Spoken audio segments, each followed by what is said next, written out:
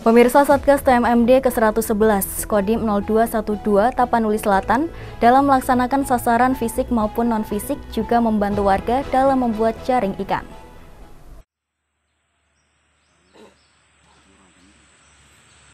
Tujuan adanya TNI Manunggal membangun desa salah satunya adalah membantu pemerintah dalam percepatan pembangunan di seluruh tanah air, terlebih di desa-desa terpencil.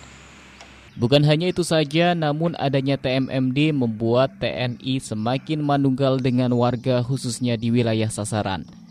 Hal tersebut seperti yang dilakukan oleh Satgas TMMD Prada Faisal yang membantu warga membuat jaring ikan. Harapan masyarakat dapat merasakan kehadiran Satgas TMMD di wilayahnya mengingat sasaran TMMD bukan hanya fisik namun non-fisik termasuk menyentuh dan berbaur membantu masyarakat di daerah sasaran. Khalid Huda Barat, pemilik jaring ikan mengucapkan terima kasih pada para Satgas TMMD yang telah membantu masyarakat selama ini. Terlebih dirinya sudah dibantu dalam membuat jaring ikan.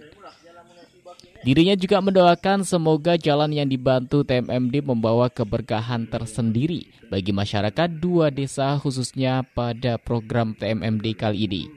Assalamualaikum warahmatullahi wabarakatuh. Saya selaku warga Sakunur Desa Batu Rosak sangat berterima kasih kepada anggota Satgas TMMD yang ke-111 Kodim 0212 Tapanuli Selatan yang telah membantu saya dalam pembuatan jaring ikan. Dari lingkungan dua pasir bidang Kecamatan Angkulasong Kunur, Kabupaten Tapanuli Selatan, tim liputan melaporkan.